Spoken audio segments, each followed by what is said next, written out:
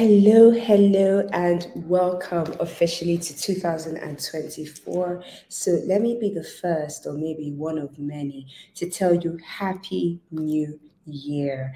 It is really a joy to be back here. I know I have been away for a few months. Life has been lifing but I am officially back and I'm really excited to be sharing this particular video with you today.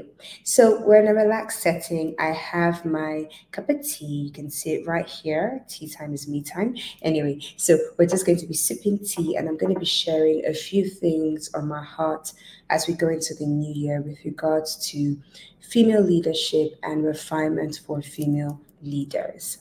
But first, let's talk about what's been going on over the last few months. So, I took a few steps out of life so that I could just reflect, refresh, re energize, and really find ask myself many questions and get the answers to what those questions were. And I think I am really excited to be back here today with some sort of clarity, uh, some sort of insight, some sort of focus as to what this year holds for you and for me. So, drum rolls, bam, she's back. anyway, okay, so I want to share with you what I, and I have my little reMarkable here that I'm going to be referring to because I, I wrote a few notes down on there that I wanted to share with you. I'm going to try and keep this video as short as possible, but um, stay with me, right? The information is really great that I'm going to be sharing with you. There's, there's some good stuff coming your way, some good stuff. Okay, so first off, I think the 2024, as we know it, is going to really be the year of female leadership. And what does that mean? Let me say the year of female leadership, the, the year of refinement. What does it mean? We have more female leaders. Will more women rise up to leadership positions? Well, yes, all that's going to happen. But there's a certain type of woman that's going to not just be able to rise to certain leadership positions, but to be there for the long haul, to make impact, and to enjoy that position of leadership without feeling strain, overwhelm, stressed, frustration or asking herself if she was created to be in that position.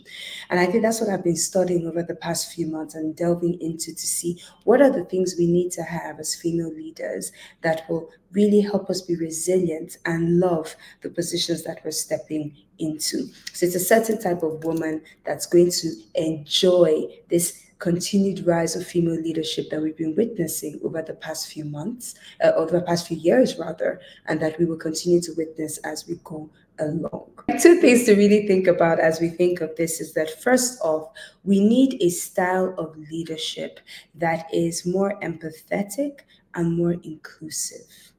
I think we've all seen what this masculine style of leadership is about. And more and more organizations are beginning to recognize that for them to step into the next phase, especially with the advent of younger people coming into the workforce, the style of leadership has to change a little bit. The culture in certain organizations has to flip a little bit. The younger generation, those that are coming into the workforce now, have been built differently, raised differently, and they're asking for different things from the organizations that they now choose to work with. So a style of governance that's empathetic, that's inclusive, and that brings a different holistic set of values and perspectives to the table is what is really critical as we enter into the year 2024 and into the rest of this decade. The second thing is we need a style of leadership that's instrumental in driving social change, in promoting gender equality, and in tackling issues from a holistic and nuanced perspective. We have black, we have white, and we have a gazillion and one shades of gray. We need leadership that's able to recognize that there's the black and white, and that there's everything on the inside, and is able to navigate how to holistically tackle situations, adhering to or recognizing the nuances of our time. This is why it's so critical. And I've been teaching this for a few years now. This is why it's so critical for us as women to lean into our femininity because there are some traits that we own uh, just because we're female, uh, just because we're created female. There's some traits that are inherent to us that if we can just lean into, uh, enhance a little bit more and master, we will be positioned already to take the center stage in this time and phase. So, what are some of the challenges that we're facing as female leaders? You know it already. Number one is men are still the majority. Now, please hear me. Hear me clearly. A lot of the time, when we talk about this male conversation and masculine leadership and female style, feminine style of leadership and men this and men that, a lot of people take it to mean that we are attacking men or we don't want men in the workforce. Nothing could be further from the truth. As a matter of fact, we need the men and we need the masculine style of leadership to balance us out with our femininity. And even within ourselves as female leaders, we need to be able to navigate our masculine style of leadership and our feminine style of leadership so that we're not too wishy washy and also so that we're not so autocratic. Uh, we get to the, a nice blend right in the middle. So this is not a male bashing conversation. No, not at all. This is a women rising conversation and women taking their seats at the table and women collaboratively working with men in a way that's not competing with them because you cannot compete with somebody on a battlefield that was created to favor them and expect that you're going to win. Did you get that? I'm going to say it again.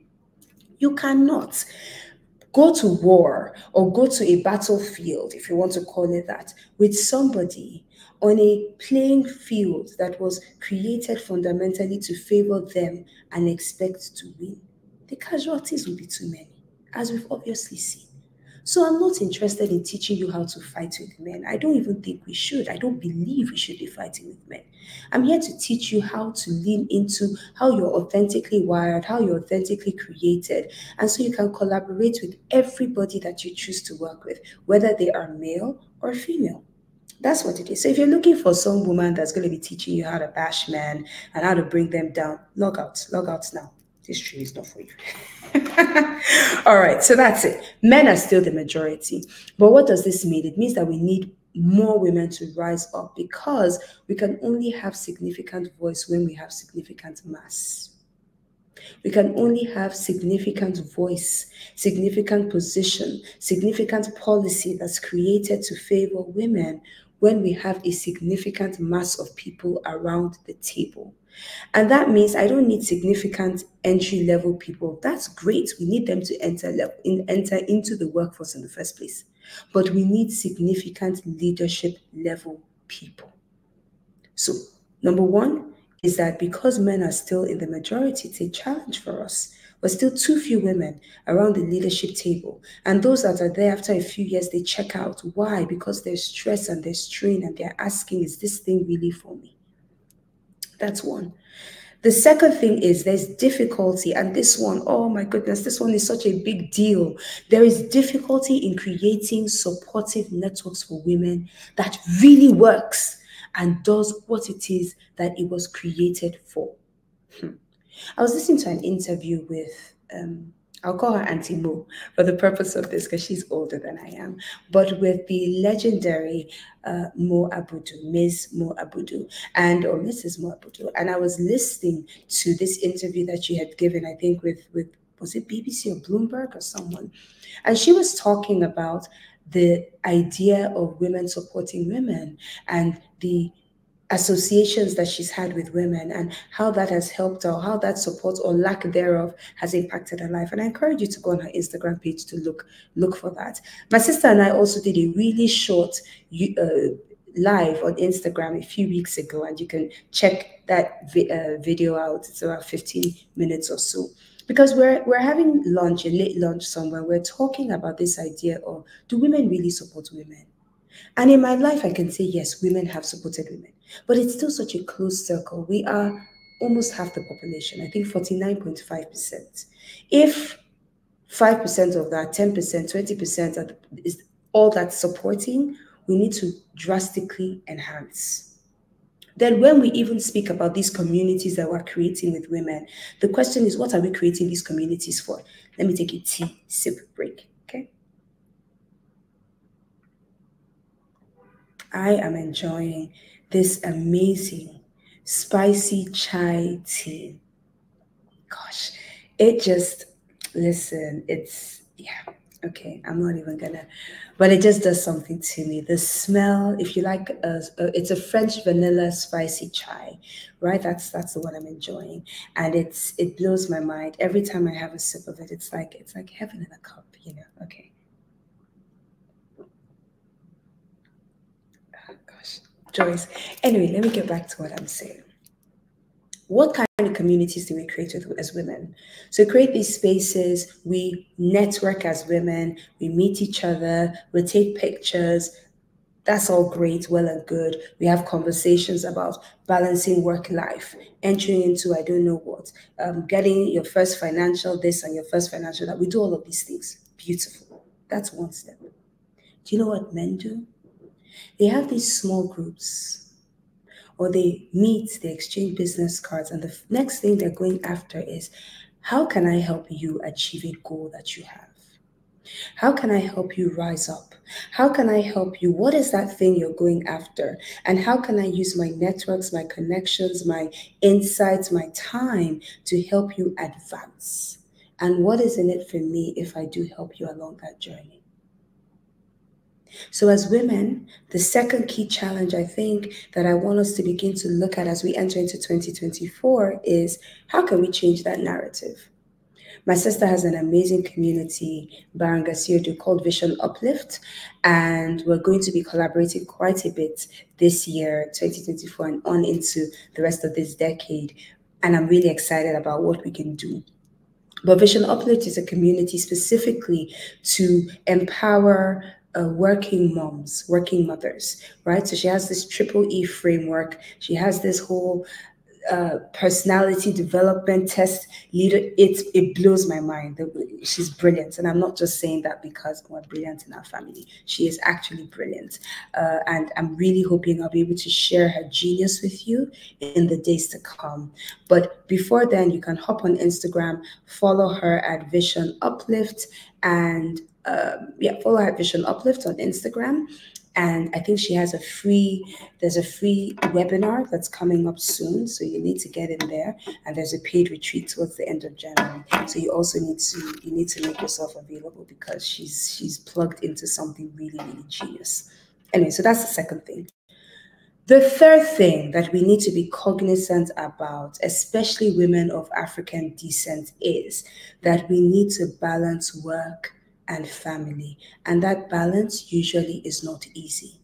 And when you recognize this is a unique challenge that mostly women of African descent face, you will begin to find unique solutions to help you bypass it, surpass it, or just live with it. Right? So, on here is really what's your support system looking like? Are you team? I can do bad all by myself. And as I'm saying this, I'm chuckling because a sister of mine had said to me, This hyper independent lifestyle is not going to get you far.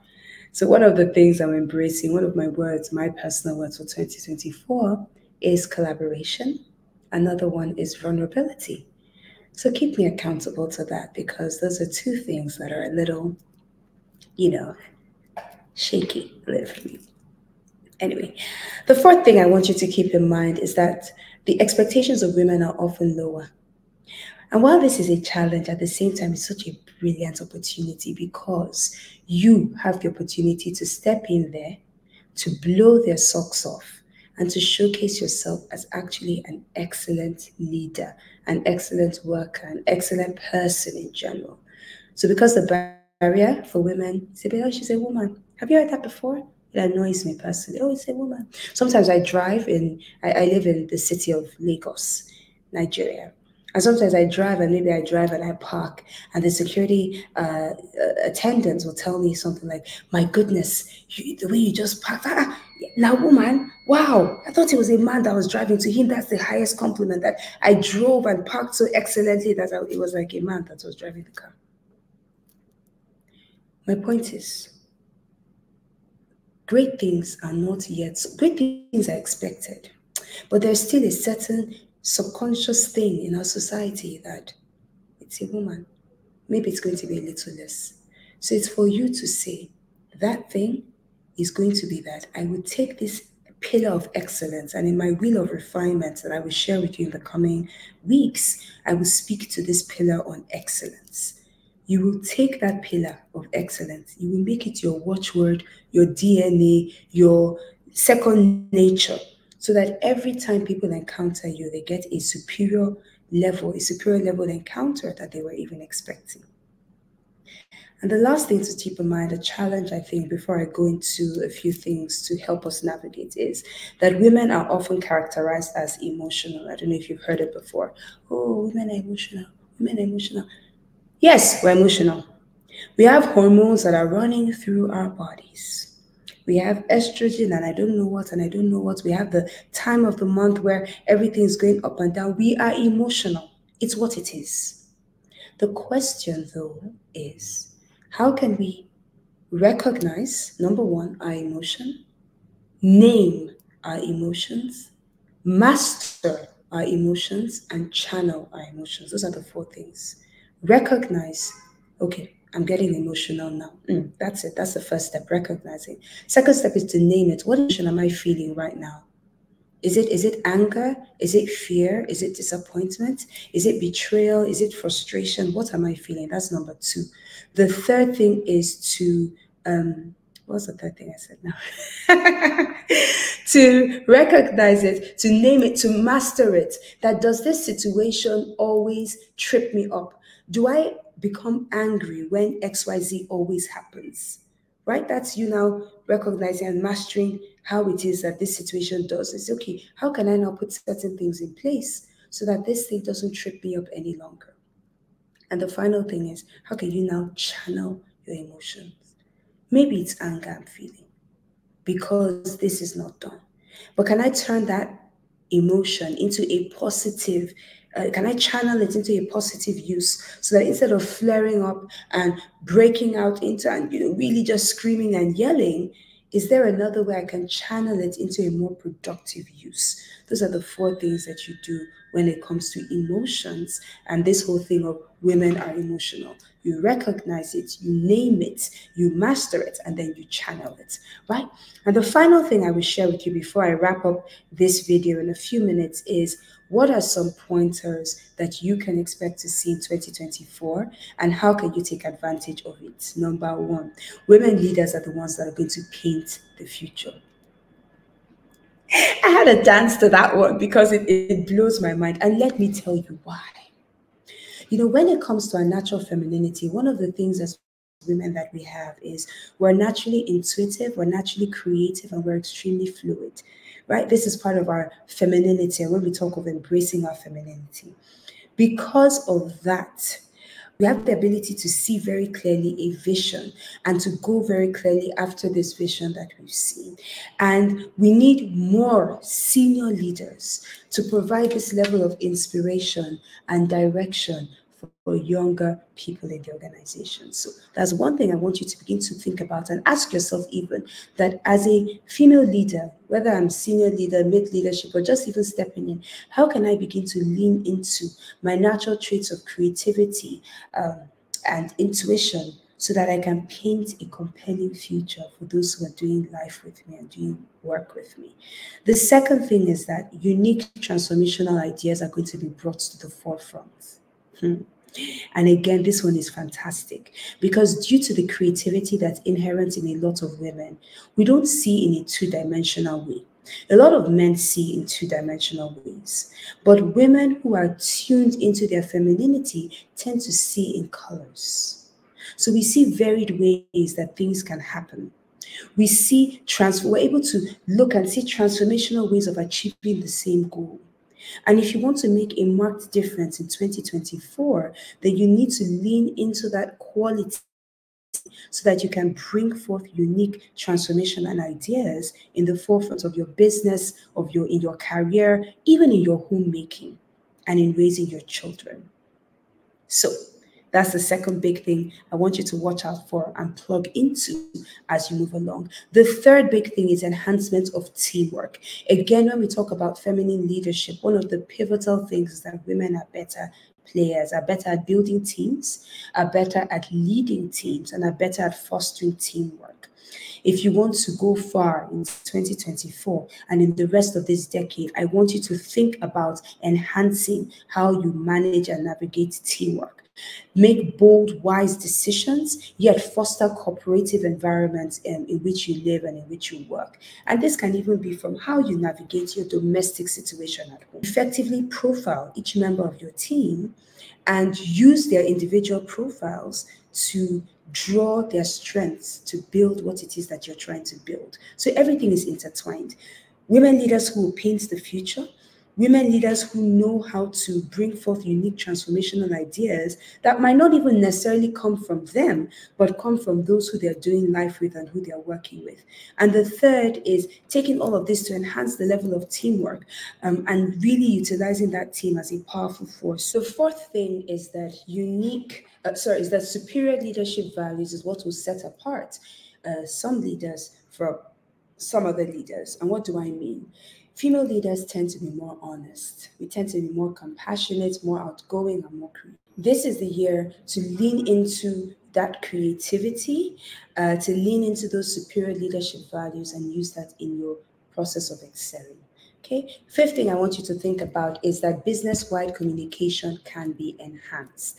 Now, studies have shown that women tend to be better communicators because we can be more expressive. We allow our emotions to come forth in how we communicate. So we're able to pass across a message in a more compelling enhance meaningful conversations. Enhance meaningful conversations with your co-workers, with your employees, with your partners, with your leadership team. Be deliberate about how you choose to converse, how you choose to pass across information, how you choose to cast your vision. The second thing is find a way of, of creating an open communication stream that gives a sense of clarity. The sixth thing I want you to think about as we go on into 2024 and the rest of this decade is that uh, female leaders tend to achieve better financial outcome. But you cannot achieve a better financial outcome if you have not mastered your personal financial situation, right? So this is the year to begin to clear up debt if you have debt, personal debt, to begin to you know, save, invest if you don't do that already, um, and just really to get your financial situation plugged in. And then from a corporate perspective or you know your business and all of that, a more diverse workforce usually means that you have more ideas. It means that you have uh, you can create more growth, increase productivity, and a lot of that leads to su- sustained performance. So what tends to happen is that because there are more people putting their minds together, you have different people, not necessarily more, different types of people, different groups of people putting their minds together, um, you're able to come up with sustained ways of doing things, which ultimately could lead to better financial performance. And in general, women are better sometimes sometimes, sometimes, sometimes. When you fix yourself, better at managing um, some money than than men are. We can drive a bargain when we want. So take all of those skills that are inherent in us in other ways and put them towards your business um, and towards your career. Final four, five things I think I'm going to share with you is to embrace fresh new outlooks and perspectives embrace fresh new outlooks and perspectives. We're at such a pivotal time in this world. We've heard all the perspectives, all the doom and gloom. I don't listen to half of them if I'm being honest with you, because I guard my mind. However, we cannot do things the way we've always done things. I am in a very volatile industry. So, yes, I am the refined lady. I teach all these things. I teach about feminine leadership, etiquette, and, and refinement, and all the things I teach women and female leaders. But I'm also, or and I am also a marketing and branding executive, and I've been building multinational brands now for well over a decade um, across Western Africa. So, my business, my corporate business is, is very volatile. The industry is changing every day. The uh, landscape that we came into just a few years ago is drastically changing. Competition grows every day and all of that. So, a way to win is to embrace fresh new outlooks and perspectives.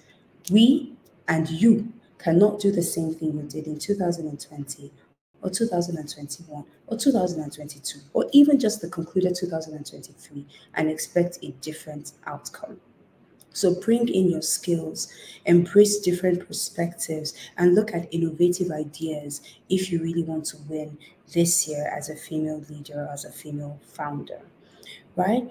The eighth thing I think I want now is better mentorship opportunities. And this goes two ways. Number one, 2024 is a year that you will commit to raising those that are coming after you. Who are you coaching? Who are you teaching? Who are you taking an interest in? And sometimes this does not have to be formal, come sit down, let's have a conversation. I'm your mentor. Sometimes it happens that way. Sometimes it could just be who are you giving an opportunity to? In my organization, there's somebody who, you know, I, I genuinely respect. I respect her work ethic and how she shows up and all of that. And and I give her responsibilities. So I'm not sitting there saying, oh, you know what, I want to mentor. You know, my role in her life is to see how can I empower her? How can I help her bring to the fore the potential that I see in her? And how can I really help her become everything she was created to be? And if you hear that, that's the fireworks bringing in the new year. so, how can I help her do all of that? And how can you help the people around you? It can be your domestic staff, it can be the associates in your organization. How can you help people become the version of themselves that they wouldn't have been if they didn't encounter you? That's what mentorship is all about. And on the second hand, is who's pouring into you? What are those spaces that you've created in your own life so that you can be filled, you can be pushed, you can be encouraged, and you can receive uh, strength from others, right? Those are the two things. Uh, ninth thing now, I think, is female leaders, women in general, have an ability to multitask. Have you ever seen, and this one I'm going to hone in here on mothers. Have you ever seen a mother, maybe she's on the phone while she's making milk for her baby, or she might be feeding her baby and she's using the other foot to like rock the stroller with somebody else, and she's maybe sending off an email while instructing a domestic staff to do something. Have you ever seen that type of thing before? I have seen it a lot. And if you are a woman that manages a home or manages a family or has children, I want you to begin to think of all the skills you use in that setting and ask yourself how you can translate it into success when it comes to your business and your corporate career. Okay, so I want you to think about that because we have the ability to wear very many hats. We have the ability to multitask, but how are you putting that to the fore. And, and there are many different schools of thought. Some school of thought say, look, uh, focus on one thing because when you constantly switch in your brain, your productivity drops. And I do agree with that to a certain extent.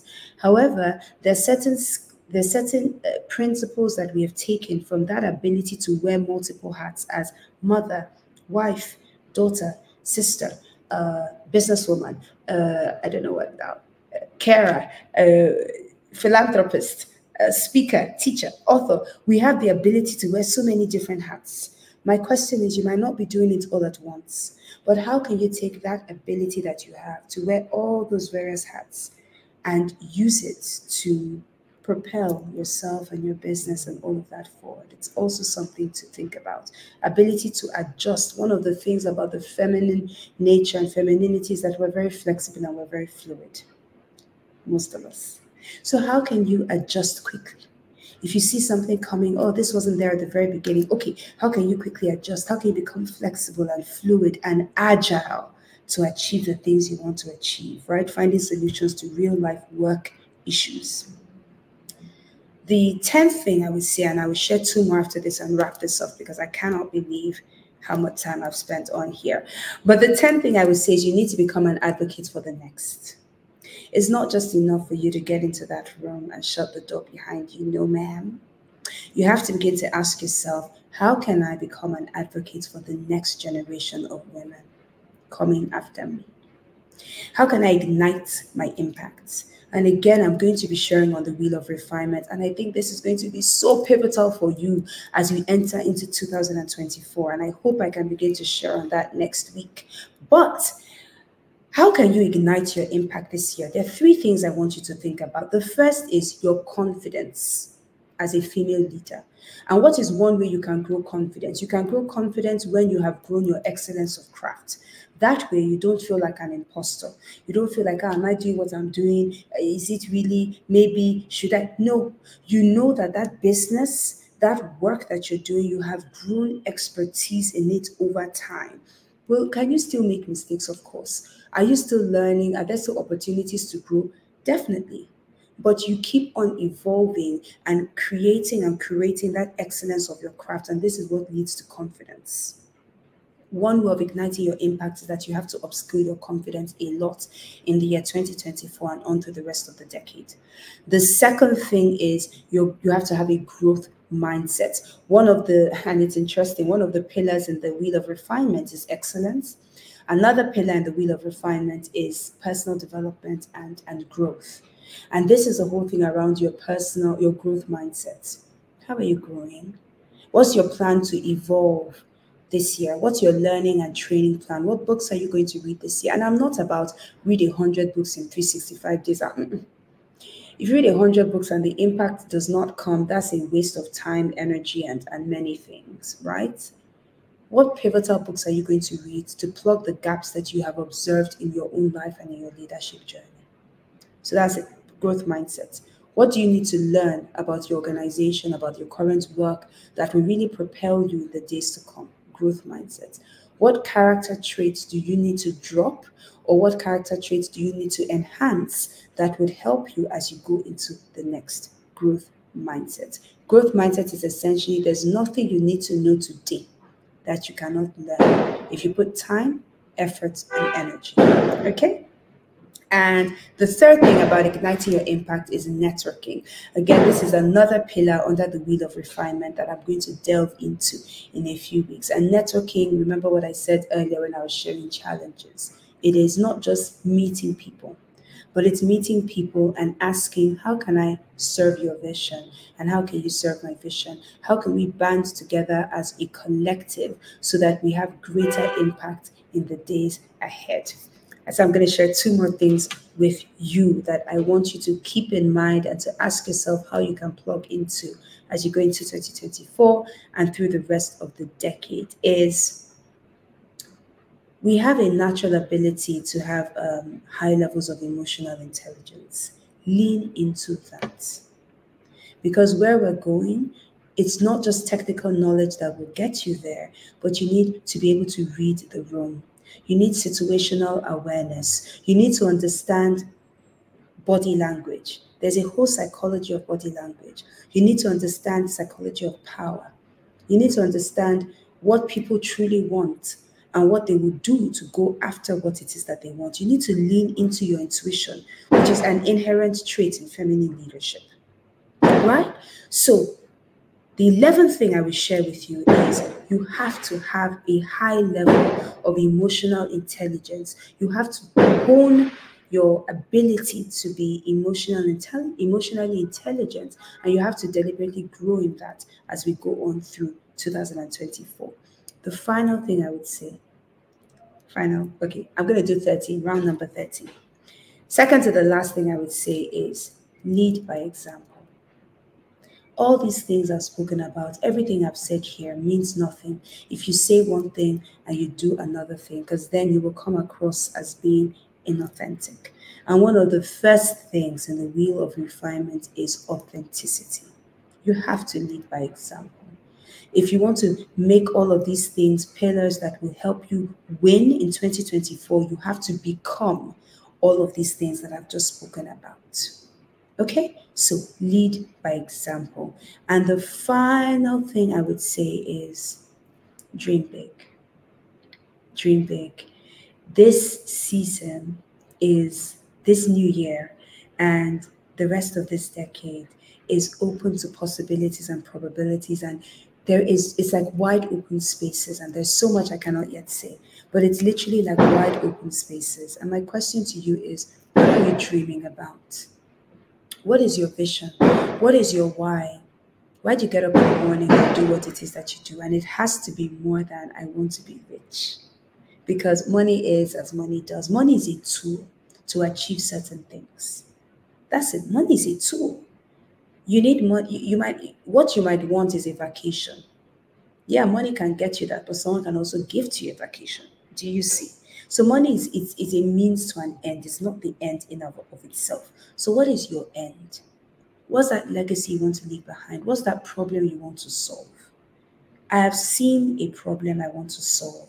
And unfortunately, or fortunately for my world, I cannot unsee it. I don't want to unsee it. I've seen vividly what can happen in my mind's eye when I sit and I do my own vision sessions.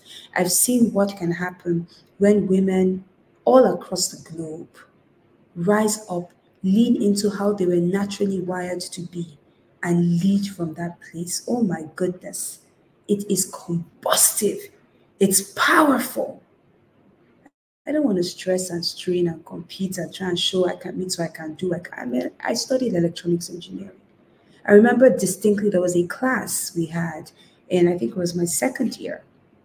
And there was this huge machinery that we had to, you know, like, it, then it was like manual thing you had to pull because I was building something, right? And, you know, you had to pull it, and I was the only girl. And I tried with all my energy, and I just realized, listen, I can try and do this thing. And it might take me a lot longer to pull it.